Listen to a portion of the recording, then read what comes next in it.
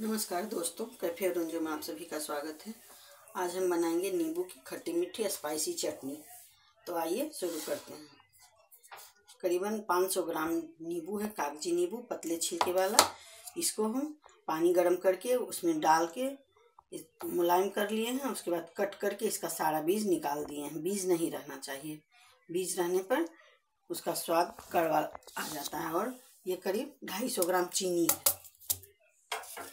एक चम्मच लाल कुटी हुई, लाल मिर्च है, एक चम्मच जीरा पाउडर है, एक चम्मच उजला नमक, एक चम्मच काला नमक, एक चम्मच चाट मसाला, थोड़ी सी हींग। तो सबसे पहले हम इस जार में नींबू को पीस लेंगे।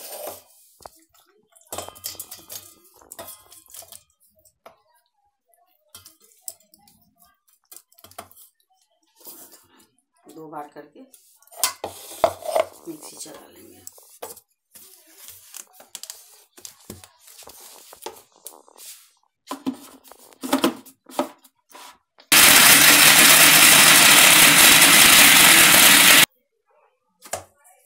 इस तरीके से सब पीस दिए हैं मिक्सी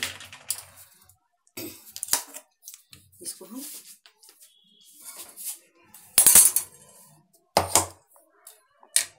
सारा नींबू का ये जो पल्प है, इसको हम कढ़ाई में डाल दिए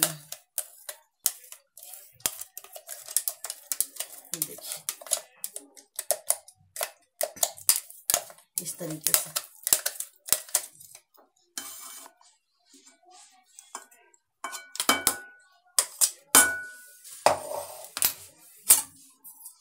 इसको हम थोड़ी देर भून लेते हैं। नींबू भी ऐसे सभी चीज़ के लिए फ़ायदेमंद है और विटामिन सी से भरपूर है। ये पाचन शक्ति का काम करता है। खाने में भी बहुत टेस्टी लगता है। फिर बना गया, इसमें हम चीनी डाल देते हैं।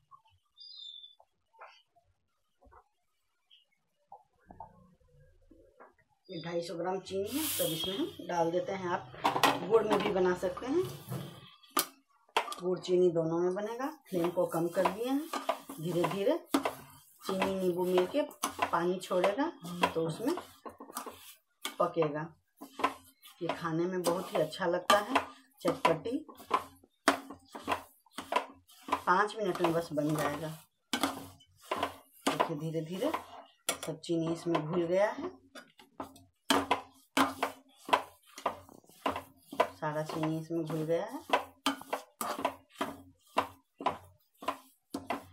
ये दो साल, पाँच साल तक खराब नहीं होगा, आप इसे बाहर में ही रखिए। जितना पुराना होगा, उतना पाचक का काम करेगा।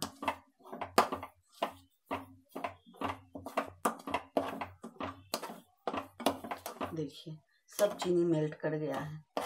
इसको हम पकने देते हैं। देखिए इसमें हम एक चुटकी हींग डाल देते हैं।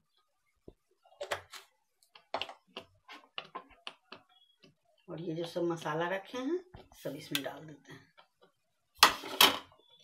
अब ये धीरे धीरे इसको पकाना है।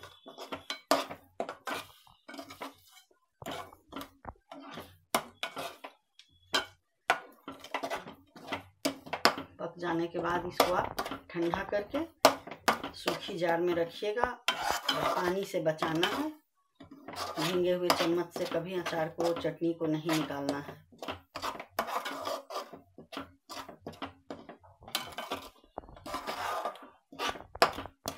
देखिए, सब चीनी मेल्ट हो गया है। मसाला भी इसमें, इसको पकने देते हैं। देखिए ये बन के तैयार हो गया है। बस पाँच मिनट का टाइम लगा। जब भी आप भी अपने घर में बनाइए तो नींबू को थोड़ा उसका कड़वापन निकालने के लिए गर्म पानी में डाल के छोड़ दीजिए। उसके बाद उसको छान के निकाल के धूप में सुखा लीजिए, तब कट करके उसका सारा बीज निकालिए। देखिए, कितना सुंदर इसका कलर है। और ये एक सप्ताह के बाद खाने लायक बनेगा, जब इसमें पूरा चीनी भींगेगा। हम गैस को बंद कर देते हैं।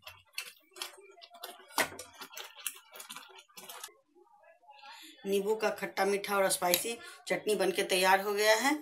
आप इसे आठ दिन के लिए रख दीजिएगा। आठ दिन के बाद इसको खाना है तो और टेस्टी लगेगा। इसमें रस से पूरा नींबू का कड़वापन निकल जाएगा। अगर ये वीडियो मेरा पसंद आया होगा तो आप लाइक करें शेयर करें सब्सक्राइब करना ना भूलें और कमेंट भी करें। फिर मैं अगले व्यंजन के साथ मिलूँगी। थैंक्स